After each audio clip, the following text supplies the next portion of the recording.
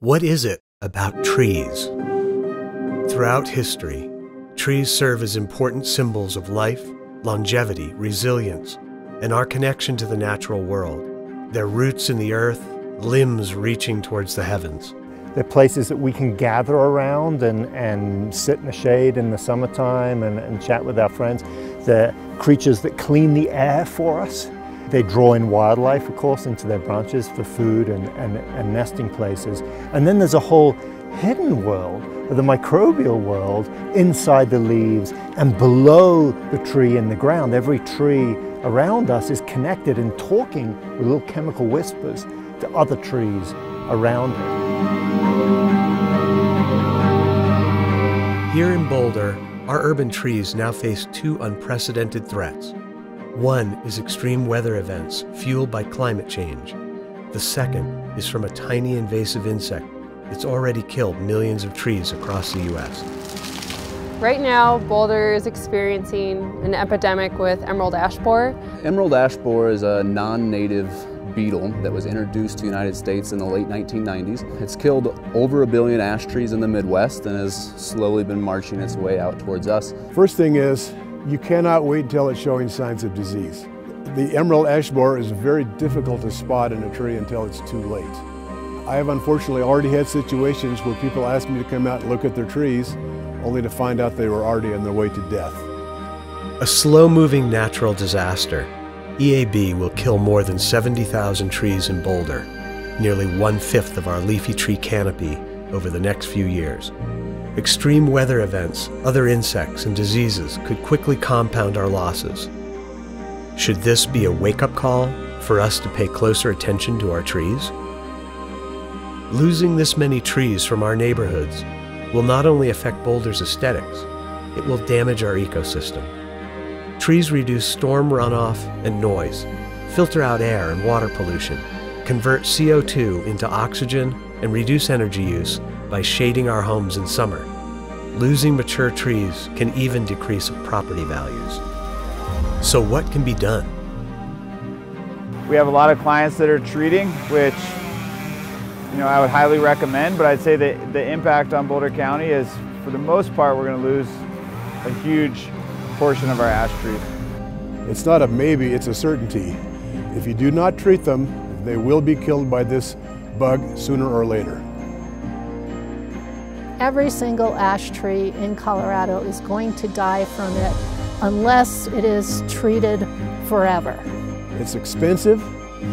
Uh, it has to be done every other year. Once your trees have it, it's, it's not good. You can treat and still maybe keep it under control, but if you're not treating and you're anywhere near Boulder and you have an ash tree, it's kind of a done deal. But we have to remember there's a trade-off there. We have to use some pretty pretty strong chemicals to be able to keep that ash from dying. If you're not already treating your ash and committed to continuing treatment for a long time, consult a certified arborist to see if it's still a viable option. What else can we do? Is Boulder destined to lose 20% of our tree canopy? You have to remember, if you've ever seen a picture of Boulder at the turn of the 20th century, there were no trees in Boulder. All the trees that are here have been planted. Boulder hasn't always been a tree-friendly environment. In fact, our early pioneers and settlers realized they would need to create a network of irrigation ditches in order to distribute water across the landscape so fruit trees, shade trees, hay, and crop could be grown. Many of these ditches still carry water. These channels and our ability to irrigate during dry spells have changed Boulder's grassland environment into what you see today, a place where trees and crops can flourish. Everybody thought the American elm was the perfect shade tree. So many people planted nothing but American elms. When Dutch elm disease came through, nothing was left. They had barren plains. After Dutch elm disease, people stopped planting American elms. They kind of figured that ash trees were the perfect shade tree. They're easy to transplant. They're fairly nice trees, so people planted nothing but ash trees. How do we then step forward and not be passive victims of this, but to say we can't eliminate the emerald ash borer, but we can choose how to respond. So we really now have to think hard about how we're going to replace that canopy, what we're going to replace it with, and how we're going to protect and sustain the rest of the canopy that we have. We've got to diversify our forest just as much as possible. We've got to get as many different species as possible. What we can do to combat the impact of those bugs moving forward is to plant a more diverse urban canopy that never allows one species to comprise such a large percentage again. And I recommend that they plant something that they don't really see in their neighborhood that isn't a large part of our urban tree canopy already. Boulder residents need to plant new trees as soon as possible to help restore our tree canopy and to check with an arborist to ensure the health of your existing trees. With nearly 75% of our canopy on private property, it's imperative we all act swiftly to plant, protect, and diversify our trees.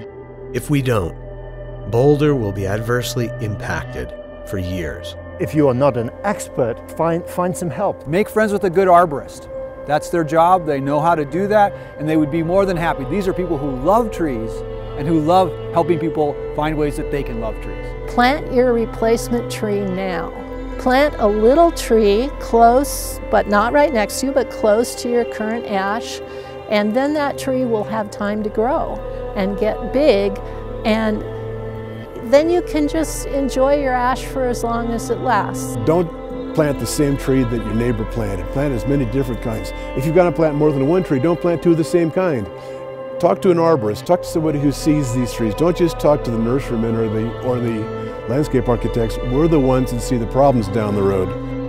Boulder's been through tree losses before, and if everyone commits to planting one, two, or three trees within the next few years, we can prevent the adverse long-term impacts of losing so many ash trees.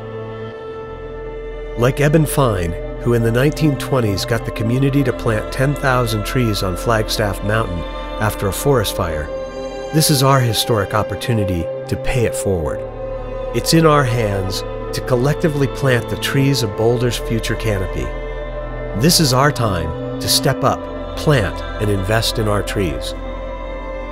This means planting more trees, diversifying the tree species in our neighborhoods, properly mulch, water, and care for young trees, protect established trees against construction and other threats, volunteer or donate to Boulder's Tree Trust.